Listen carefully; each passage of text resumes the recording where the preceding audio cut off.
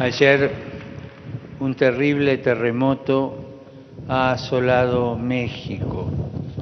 Vi que hay muchos mexicanos hoy entre ustedes.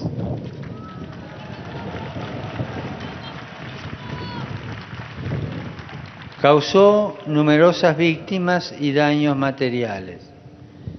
En este momento de dolor quiero manifestar mi cercanía y oración a toda la querida población mexicana.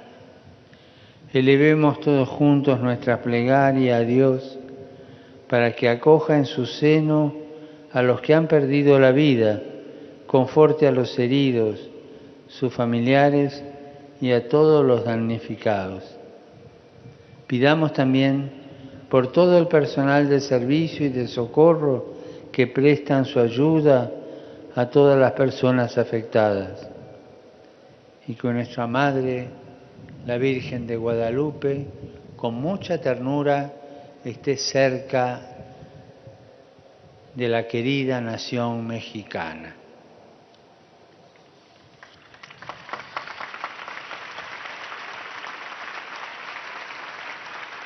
Dalla lettera agli ebrei. Fratelli,